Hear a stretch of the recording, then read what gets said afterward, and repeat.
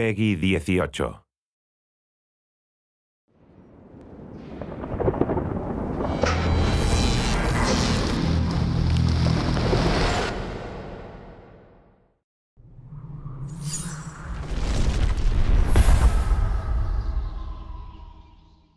dating all the way back to the very first Mortal Kombat, um, I actually worked in an arcade at the time. I remember coming into work and hearing the sound of people going, oh, ah, you know, making these loud screams and yells and cheers because they were seeing something they had never seen before. The reason fatalities eh, appeal to so many people is, is these brutal, over-the-top things that, you know, most people never even want to think of doing to someone they know or even to, to um, someone that they don't know. Fatalities are awesome in that it's a perfect way to end a match. It's a good way to show that you dominated over your defeated opponent. It's a final punctuation mark that, okay, I just kicked your ass and now I'm going to humiliate you even more. What makes the fatalities awesome, I think, is the sense of humor to them.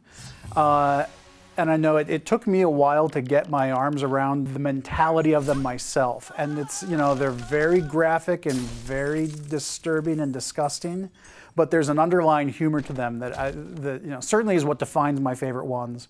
And, uh, and it was kind of what made them enjoyable to work on for me was, was, you know, finding that humor and kind of bringing that out, you know, graphically and visually. I think a lot of the casual players, you know, specifically pick up Mortal Kombat are always looking up, you know, what are the fatalities, um, how gruesome they are, you know, even finding out, like unlocking them through the game and stuff like that.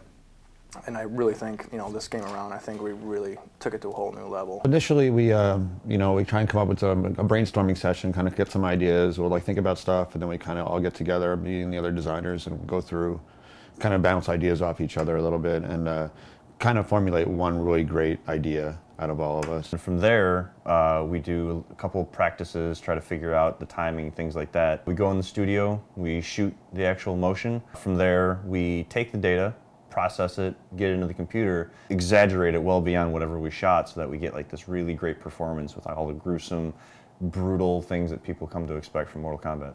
So once uh, all of the action had been defined, we would make sure that blood, um, any of the magic, any of the, uh, you know, any of the other uh, visuals that don't fall under either environments or characters would get put into the cinemas. The most fun I had was actually the one fatality actually in particular was the uh, the Kung Lao, you know, the, you know, one of the iconic ones that have been used in a, a lot of the uh, the marketing now, when he lays down his uh, his hat and you know pulls the uh, unsuspecting victim through it. Carlos is, is you know he's a huge character in the studio and he likes to keep the the mood upbeat. The best part that I love about these fatalities is I get to beat up on Rick O'Mara, and he also gets to, you know, perform his fatalities on me. I actually remember when we were shooting the um, the Kabal fatality where the victim falls on the hook swords, and you had Tony supporting Carlos as Carlos is falling over, and it was just hilarious because when you look at the raw data up on the screen, you don't see Tony there. So it just, he fell and it looked so perfect. It was hilarious. Maybe about like the third or fourth take, we start getting into more or less of the vision of the actual fatality. And it starts getting amped up with, you know, all that emotional content where you're getting into, you know, like, I really need to stab these knives into these guys' clavicle so that way the lightning will strike. You know, when you're doing it the first or second time, you're like, oh, I really don't want to hurt, you know, the other actor. When the other actor gives you the cue, he's like, hey man, just let go and really like hit my clavs. Having somebody uh, able to draw off of that and Ed sitting there going, oh my God, that's what I want. I need that. And trying to draw off of that, all that emotional content and trying to get the best performance.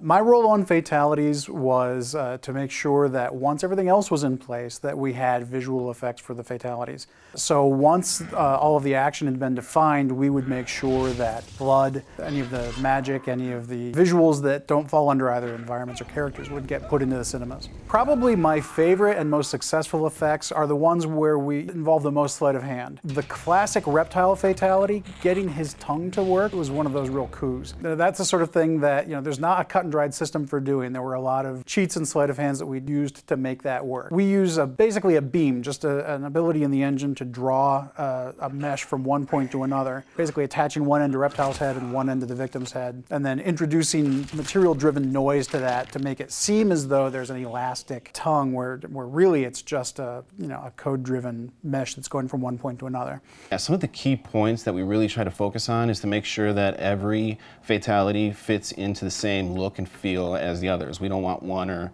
uh, another to kind of feel different. Each character had approximately 18 points of dismemberment.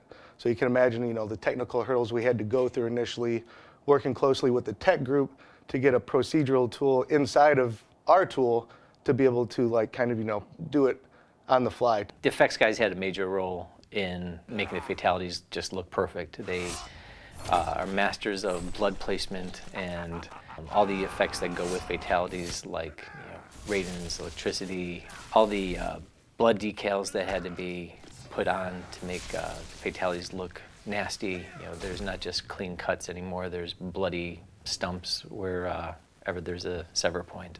Every fatality had its own challenges, ranging from just making the blood look good, and, and blood from the outset is a tricky thing to get right. Fluids and liquids are a difficult thing to do in particles, and even more difficult to do in real time when we don't have the ability to render something, when we have to do a graphic that will update 60 times a second. And so even just the, the rudiments of getting the liquids to look good had its own challenges. One of the really cool things was at like E3 this year and a lot of bunch of the other trade shows.